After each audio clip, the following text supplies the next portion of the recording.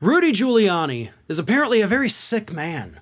And I don't mean sick in the head, I mean like physically, internally sick, right? He's got some problems, allegedly.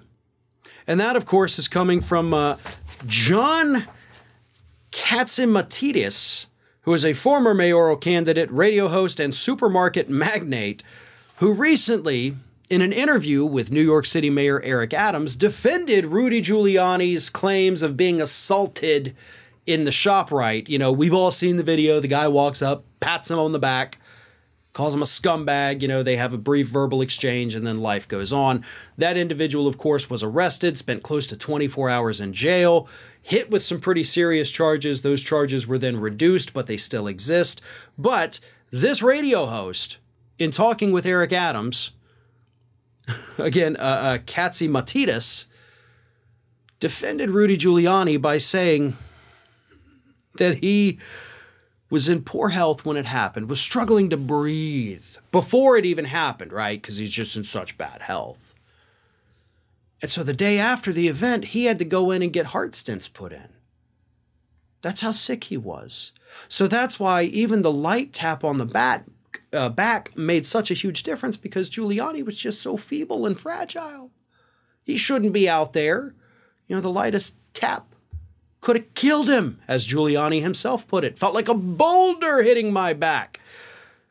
The next day, I, I was scheduled to get some heart stents put in so that I could breathe, Catsimatidis says.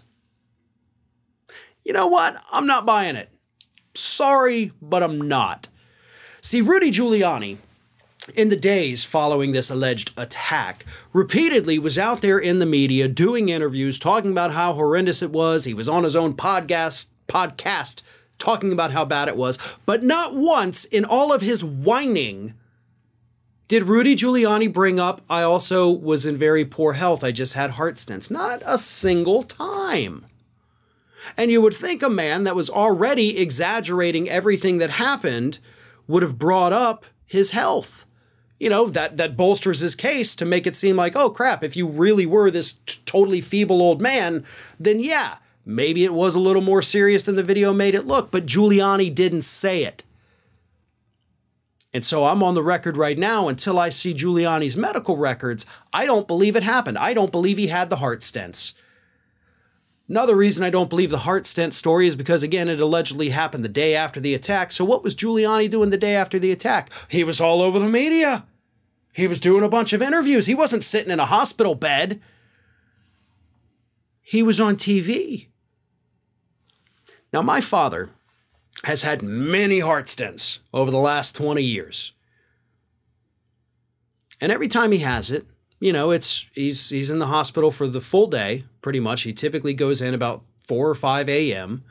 They eventually get to him. They keep him there for hours and hours and hours. Sometimes they keep him overnight, you know, just to make sure that there's no problems with the stent.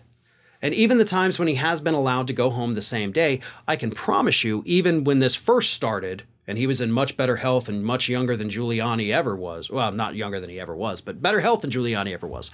Um, he was in no condition whatsoever to give an interview. So I'm sorry, but based on personal experience and based on what we saw from Giuliani all over the media the next day, the story of him having heart stents put in after this happened, it doesn't add up. It simply doesn't add up.